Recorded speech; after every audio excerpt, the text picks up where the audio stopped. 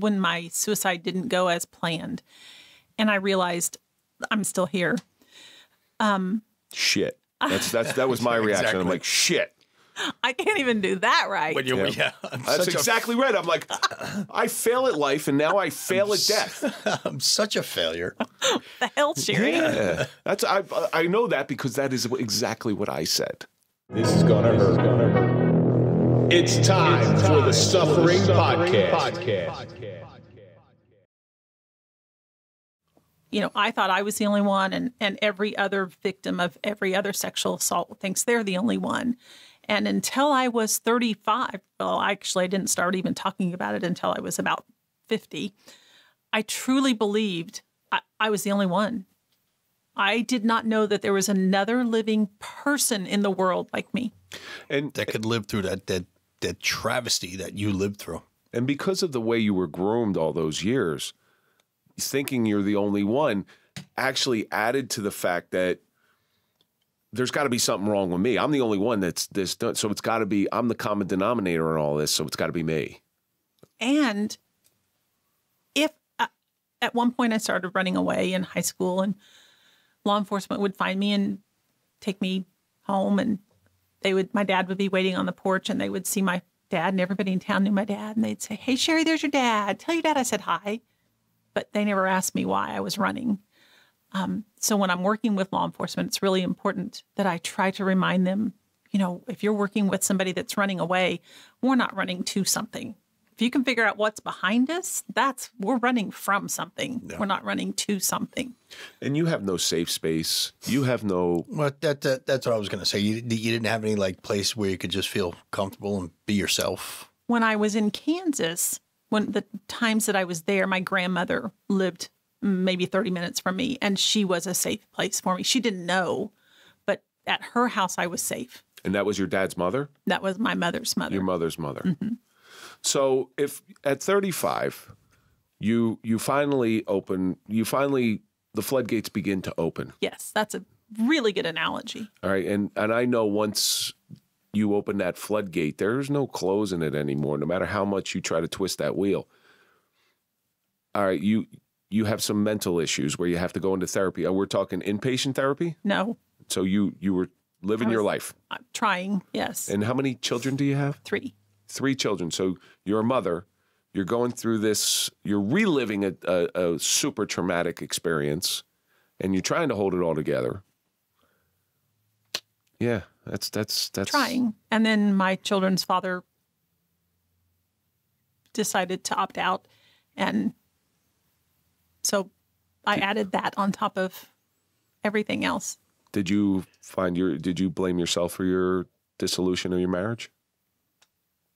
Um, no, no, I I rented a little house. Um, things got really, really bad. And so there was a little house that became available for rent about a block from me in a really small town in Kansas.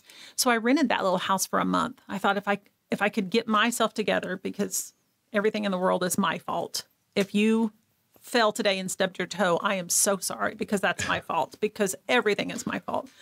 And so I rented this little house and I thought I'll just stay here for a month, get I'll get myself together and then I can go back to my home and back to my marriage and my children and but I didn't I didn't get a chance to go back. I had only been gone one day and um, the chief of police in my town showed up at my door and served me divorce papers. Wow. And what was his reason for getting out of the marriage? I have no idea. You really don't know? Ah, that's odd. He never we never talked about divorce. Now, now, what were the what were the kids thinking at this point? My kids were so confused because on the outside we were the perfect family every kid in the neighborhood came stayed at our house So you were kind of like Instagram. yeah, or Facebook. Yeah. Just That's- the highlight reels That's it. Just the highlight reels uh, to the outward appearance. You're living the, the life of Riley. nobody knew Look I at was, that family; they're so lucky. We know some people like that. nobody knew I was sleeping on the couch at night and because I'd fold up all my bedding before the kids got up and you know and the the outward appearance was shined spit shined it was perfect And you, Now, now, do you think that was a way of hiding your past? That you know you put on this big happy front. I just wanted my kids to be happy. I Again, you wanted, were in protective mode. yes, I wanted wanna them to have protect everybody around you. normalcy, whatever that was. In some way, though, you have to think that this pain is going to end for you. You know, like when when you get out of a bad situation, you bury stuff real deep, right? And I'm sure you buried this so so deep, thinking it's just going to go away one day. It's going to dissolve, mm-hmm. like those stitches that they put inside of you. It's just going to dissolve. But the problem is, the more you bury it away, just it's like it's like a volcano, and it just builds up pressure until one day it explodes. Absolutely. Did you have an explosion point? Um, probably when I tried to commit suicide, but that was so much later, and it it doesn't fit a pattern very well. Like we like things to be in a pattern. Um, Regimented. You said society likes things packaged. They do, and I I talk about my suicide attempt not because I'm proud of it, because I'm certainly not, but my abuse from my father stopped when I was 17. I got a divorce when I was 40. I got remarried about three years later, and life was good. I was living in Kansas City. My husband took a job in Corpus Christi, Texas, and I had been there about six months, and he was thriving and loving it. I didn't fit in. I could I didn't look like anybody there. I didn't sound like anybody there. People stared at me and they would say things like, "You have colored eyes." What, what does that mean? What? I don't know what that means. And then I realized nobody has eyes that look like mine. Nobody has hair that looks like mine. People talk in a different language. And I my I have complex PTSD, which was spinning out of control. And I just decided one day that I had fought and clawed and scratched for every day of my life. And I was just tired. And here I am, 50. I'm living in a condo on the beach. Everything should be roses, but it wasn't. And so I just decided, you know what? There are things there are things worse than dying. And for me at that point living had become worse than dying. Now, my husband who's very in tune with my mental health um had no idea that I was so bad, but he was doing so great at his job. And and you don't want to You don't ruin wanna his high. no. I didn't want to be a bother to him. Want to give him So- Narcan? So I that just decided I just I was just done. I wasn't mad. I wasn't I, I just was tired. Resigned. I just I was done. I was over. I didn't have anything left to give. And in this juggling all of these balls and pretending to be something that I'm not. And I just decided I was tired. And so I set out with a plan and um, I knew that Gary would leave at 7:45 to go to work and he'd be home at 8:15. I mean 12:15 for lunch. Um, I was an EMT for a long time, so I know some things and you know, I just was done. How are Now- you going to do it? I have a chronic back injury from a car wreck, so I just saved up Vicodin and saved them and saved them and saved them. I knew to be on the tile. I didn't want there to be a mess on the carpet. And, you know, I have people say, Didn't you think about your husband? Of course I did. And when I'm working with anybody, mainly law enforcement now, I say, What do you think I thought? And they all know the answer. He'd be better off. Absolutely. He'll be sad for a hot minute. But then, then he'll find somebody that can love the way that he loves, somebody that's not batshit crazy like I am, and he'll be so much happier. Now, that was when I was 50. I should have been over it, right? People ask me all the time, Are you still talking about that? Yeah.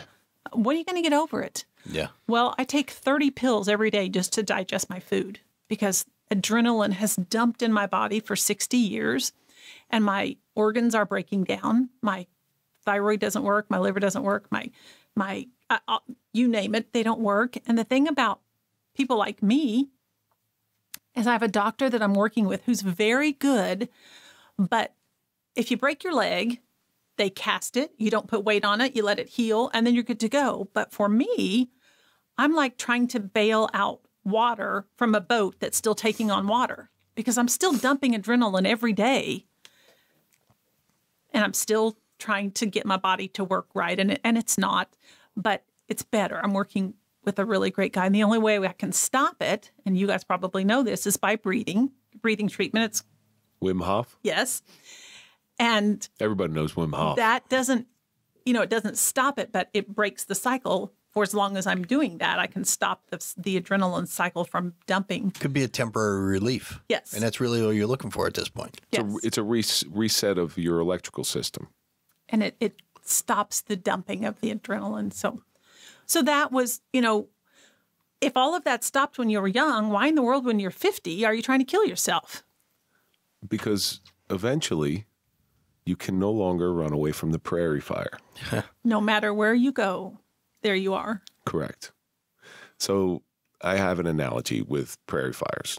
Okay. I don't, I don't know if um, you've ever heard this before, but so I was reading a book about how to survive worst case scenarios. I'll give you a very short version of it. And normally, human instinct is to run away from danger. It's just how we're Right. born. Well, I was reading this book and it says how to survive a prairie fire. There's no prairies in New Jersey, but I read it anyway. So if you They see may a- have them in Corpus Christi. Yeah. In Kansas, we do prairie fires. so if you see a prairie fire coming towards you, this big wall of flame, you're going to try to run away. But if you run away, it's growing and growing and growing until it, it will consume you and you're going to die. When all you have to do is run straight into the fire and you'll get through to the other side. And you'll be you'll be scarred, you'll be charred, but you're going to be alive. It's kind of like trauma in our life. The more you try to run away from it, it grows and grows and grows until it consumes you. It's nothing different than a credit card bill. Okay, don't pay your credit card bill this month. Run away from it. Don't pay it next month. Run away from it. Interest, interest, interest. And it just grows and no longer can you afford even the monthly payments. So that's that's my theory. Okay, it's what's worked for me. Um, when I did a an about face and headed straight into the fire, that's when my journey of healing really started. And what was your moment where you turned around and started heading into the fire? It was that morning when I when my suicide didn't go as planned, and I realized I'm still here. Um, Shit. That's that's that was my reaction. I'm like, shit. I can't even do that right. When you, Yeah. yeah. That's such exactly right. I'm like, I fail at life and now I fail at death. A, I'm such a failure. the hell, Sherrie? Yeah. That's I I know that because that is exactly what I said. Exactly. I'm like, you're a failure at life, you're a failure at death. I guess you're just a failure. They were right. In everything. Yeah, Yeah. everything they said about you is true. Um, it took me a minute or day or two to tell Gary I knew he'd be devastated, not with me, but he'd be mad at himself because he didn't catch. But listen, I'm Academy Award winning actress. That's what I did for my whole life. Yeah, I was going to say you were acting your whole life. Yeah, it's all I know. So that that after that event, I decided I'm taking my life back. And so I started a new kind of therapy. I started E EMDR. and it's the craziest thing I've ever done. Isn't it? It's, like cra- it- chicken yeah. voodoo. I don't know. It's weird, but but it it changed my life. It's almost like when you're doing it, you want In-A-Gadda-Da-Vida to be playing in the background. It's so weird. Yeah, it is. It's very strange, and you don't realize it when you're doing it until like a couple days later, and you're like, hmm. you just sort of become introspective, and you start remembering things. You start like thinking about things, and a little peaceful, and so it's it's bizarre. It is, and I, I have a great friend Holly who who before she was not a therapist when I was doing EMDR, and I would tell her about these crazy crazy things. Well, she is now a therapist, and she does EMDR, and she said I I. In my professional life, I need to call it EMDR, but all I hear is you, Sherrie, calling it chicken voodoo, and that's what I want to call it. And I said, well, probably probably don't do that with your patients, but anyway. And that was that was when I decided "Mm, I'm not living this life. There's there's more. There's something better for me, and I'm I'm taking my power back. The first time you got up in front of a people group of people and actually let go and told your story, was the reaction what you thought it was going to be? The first time I told it was not a verbal story, which is a little odd. I was asked to do what was called a cardboard testimony. And so on the front of it, it says who you are. Um, suicide, incest survivor, I think was the first time I'd ever written the word out. Uh, suicide survivor, incest victim, because that's what I thought it was. Um, suicide survivor. And then on the back, it says who you who you're striving to be. So I couldn't even say the word incest. It it made me want to throw up in the back of my throat. So now, so then a little group asked me to come and educate them after after I did this little cardboard testimony. And I thought, I don't know why they want me. I don't have anything to say. but I did.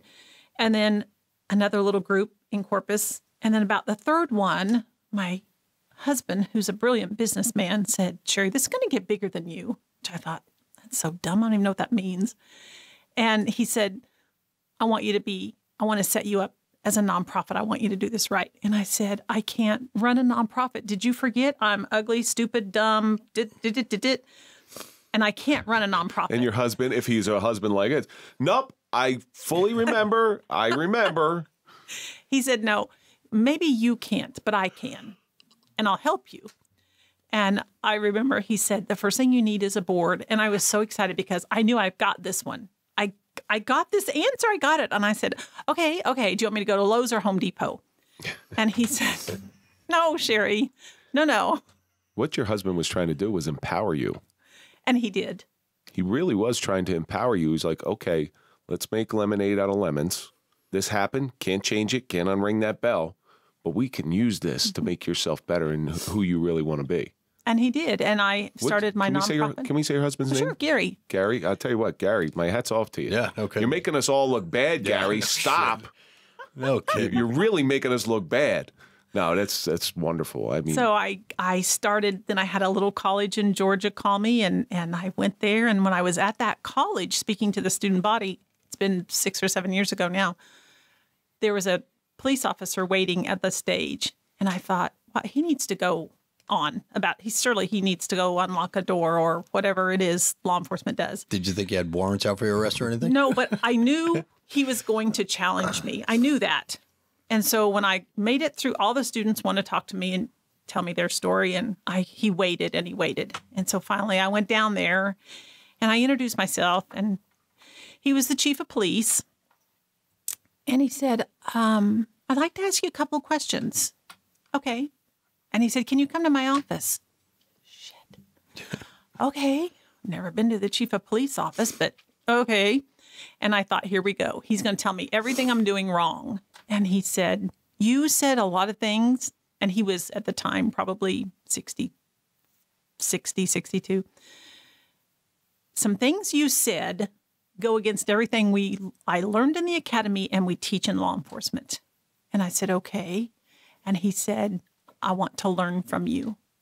And I thought, he, you must have fallen down and bumped your head because I got, no, I'm just, I'm, I'm, remember, I'm dumb, stupid, uneducated. I didn't get to go to college.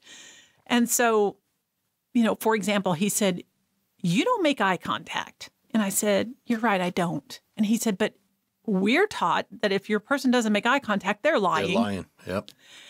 And so he started taking together, he and I built a class. And he said, How soon can you teach my officers?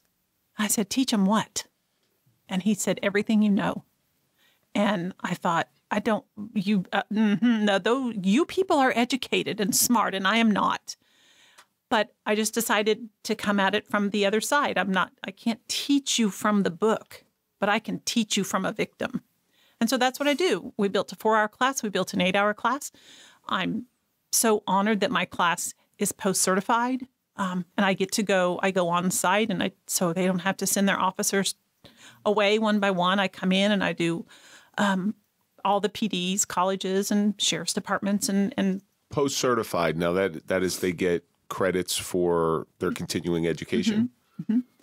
So, and I found that in doing that, I don't have to sugarcoat my story. I don't have to watch my language. The door is closed and I just tell my story. You could be yourself. I can. For maybe the first time in your life, you could be yourself. Mm-hmm. And they're not offended. And they're not going, oh my gosh, oh my gosh, she said a bad word. So you let all this stuff out. How much better is your life been since you've released? Oh, I can't even. Is is the is the dam that was built up behind you starting to recede? Oh, it's it's almost all gone. And all the Vicodin are gone. All the Vicodin are gone. Because if they're still there, just we'll talk afterwards. No, Should have brought some. um, my back injury as soon as I, I I'm still tense all the time and but as soon as I started letting go of that then my back injury started becoming better because I'm not holding on to everything and It's the built up tension. it is It's the built up tension that's making everything hurt. And mm-hmm. And I don't, you know, I can't change my past, but I try every day to be a better mom. And my kids and I are so close. They're grown and, and I have grandkids. But every time I get invited somewhere and I get to educate, and I have law enforcement tell me, Sherrie, every law enforcement officer in the world needs to sit under you. Or they'll say, I will never forget you. Good. I'll tell you straight up, I'll never forget you either now. Thank you. I will I- never they'll forget say to me, I have listened to you and realized how badly I screwed up my sexual assault cases. Because the first thing I ask them when I go in there, who wants to take the sexual assault cases? Yeah, yeah. Nobody. Hands are crossed, arms are crossed. Nobody wants them. You normally I would ask you like if somebody else was in your shoes, what advice would you give them? Stuff like that. I'm I'm going to change this around a little bit. You have seven year old Sherrie sitting next to you, and you have 62 year old Sherrie's brain and her her current outlook on life. What do you tell seven year old Sherrie? I, and I've had to go back and do that. I've had to go back and find her and make peace. Um, listen, there's enough blame to go around, but it doesn't belong to her. You can't, at seven years old, be your father's wife and try to go to school every day and try to hide and your brother and sister's protector. my mother's protector. I was my mother's mother. And I carried the weight of the world. And the fact that I came out the other side is truly unbelievable when I stop and look back from where I've been. And Miracles do happen. and what I know now is that I love life. And my voice is loud and boisterous, and my laugh is loud and obnoxious, and I don't care because I love life. And I spent the majority of life trying to run from it and hide it. And so I just embrace every single day. And I, I just, I just want to help because I admire law enforcement so much.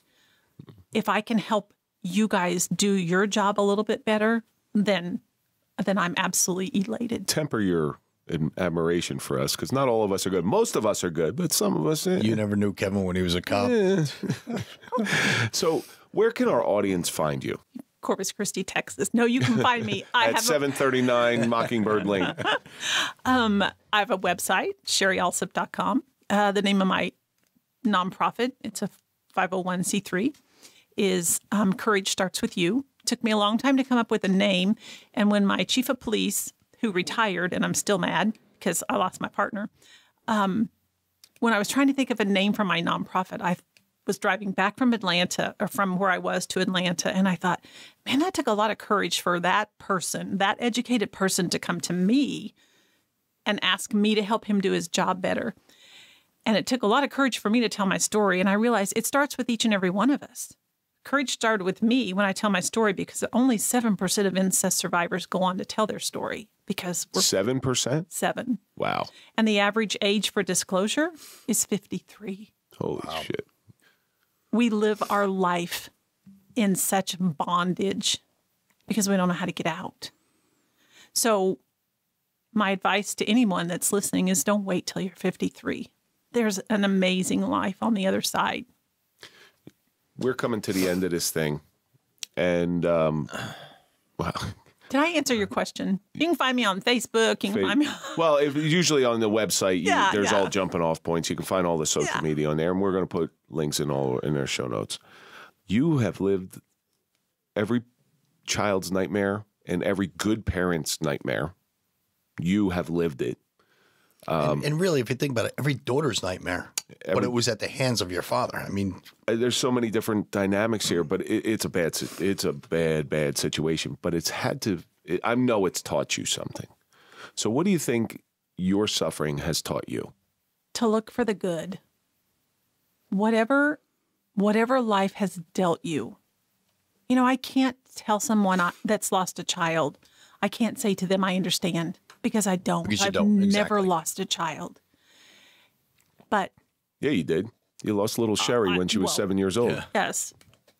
But use your life experiences as a torch and and light the light a light light the next person's light because if you'll do that then we one by one by one we can begin to heal and and make the world a better place We make that thin house of cards fall. I can't thank you enough for coming in here. It was hard for me to hear, um, Yeah. But it was necessary. it's a hard topic But but it, but it's necessary.